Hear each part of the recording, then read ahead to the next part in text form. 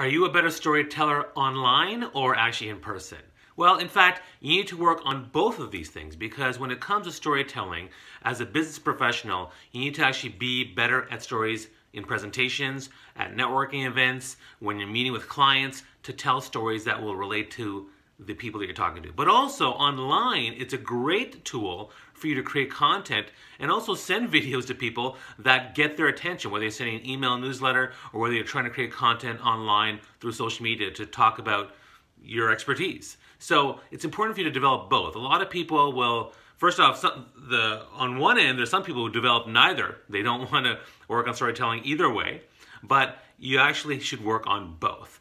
And the reason I say that is because, you know, now we live in a digital world and part of our engagement, part of our influence and thought leadership that we're building as leaders will come from what we talk about in person, but also what we talk about online. So it's important for you to think about that as you move forward. Now, what are the steps to get going on that? Well, with storytelling live, I mean, for the most part, we've been doing this our whole lives. We all tell stories. And there's that time that I went to this thing, and then, you know, oh, dad, one time I had this thing happen to me at school today. And, you know, my kids tell me stories.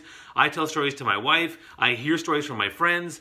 We tell stories all the time. What we don't do is we don't take the time to think about and break down how stories work, you know, in terms of looking at telling the situation, the rising action, the resolution, what are the lessons learned, things like that. And we don't take the time to practice our stories. You know, we did this whole seven stories, uh, seven lessons uh, initiative, which was kind of a fun exercise.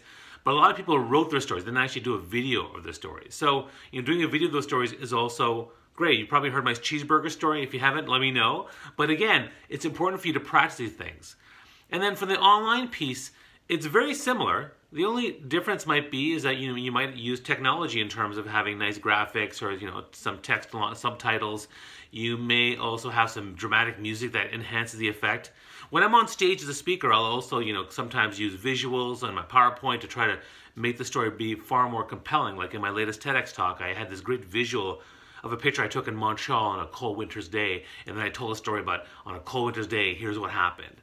Um, and you know, there's lots of great tips that you know I, I can share on storytelling, and uh, I will. You know, the the one big tip for me is you know setting a really strong visual for where we were. So you know, for example, in the story I told in my TEDx talk, uh, that was my fifth one on uh, the one on hugs. I said it was a wintry, cold, blustery day. The wind was blowing through my hair and it was freezing my face off and there was cars whizzing by on the busy street corner and I was standing on the corner and I saw a traffic light going flashing, the, the stops, the, the flashing hand.